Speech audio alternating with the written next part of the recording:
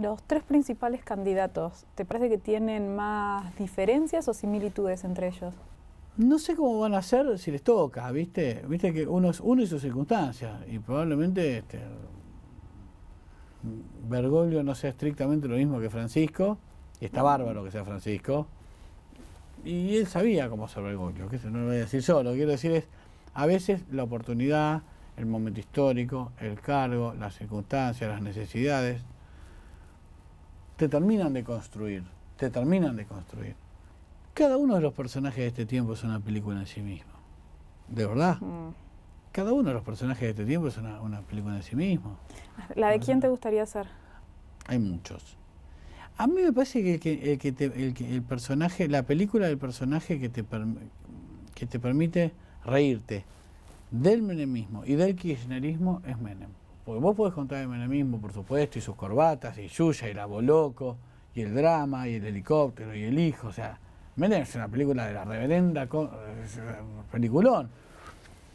Pero es un tipo de que el kirchnerismo, mientras se construyó también bardeándolo, y yo no tengo conflicto en eso, yo estaba en la marcha federal, yo no, eh, en época no tengo conflicto, digamos, pero se construyó bardeándolo y al mismo tiempo, viste, sacaron muchas cosas con, con, el, con el voto de él. E- Es, muy loco el hecho de construirte diciendo los 90, el mismo y tener, la mitad de los tuyos son de los 90, y, tres, y cada cinco leyes que necesitas, uno necesitas que se siente. En la película de Aníbal Fernández, ¿cómo crees que, que le, va, que le va a impactar esta denuncia? El kirchnerismo ha construido una base de sustentación que encuentra en sus banderas o, o en su plan este, los suficientes elementos como para seguir apoyando a pesar de estas denuncias. No, no me parece que Aníbal sea una excepción en esta lógica que se da dentro de, de esa parte del electorado. El voto kirchnerista ya está decidido. Y, ni siquiera, y, y- y de ningún modo lo digo Mm. desde un lugar de soberbia. Cuando está decidido, el tipo que, que vota, por eso está votando un proyecto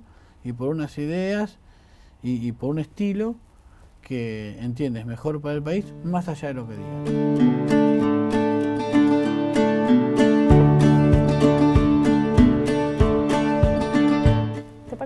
Haber crecido tanto el narcotráfico en la Argentina sin connivencia del poder político? No, a mí me causaba mucha gracia. Eh, yo sé que son temas en los que está mal decir que causa mucha gracia, pero a mí me causaba mucha gracia.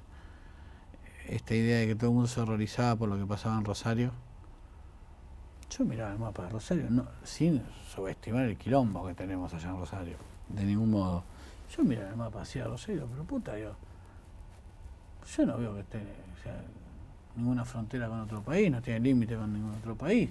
No veía, viste, cómo podía ser como un problema tan independiente de una ciudad sin que el resto del país estuviera, ni las autoridades, nadie, nadie tiene nada que ver, era un tema nuestro, los rosarinos, solo ahí, es raro, no, no, sin connivencia esto no pasa. ¿Cómo va a pasar esto sin connivencia?